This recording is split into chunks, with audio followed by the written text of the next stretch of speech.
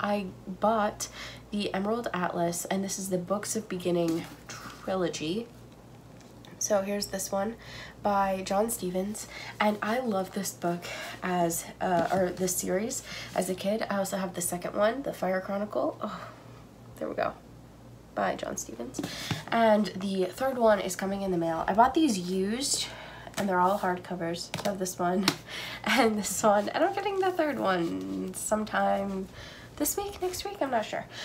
But yes, so I loved this series as a kid. It's about these three kids, they're orphans, they only have one letter to their last name and it's P. And so they try to guess their last name, but um, that's like uh, an aside, just kind of uh, it ends up being like it's sad but it's a fun thing that happens in the book where they're just like trying to guess it. And like the youngest one i think her favorite is like penguin.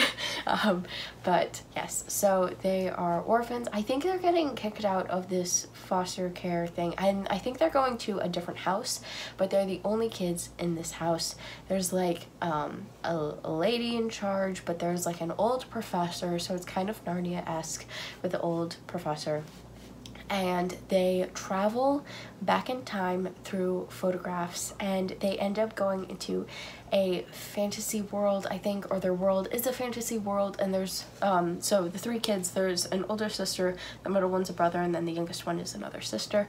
And the brother is like obsessed with dwarves and it's really the cutest thing ever. And so then they end up like going into this fantasy world and he gets to see dwarves and it's a really really cute um, middle grade.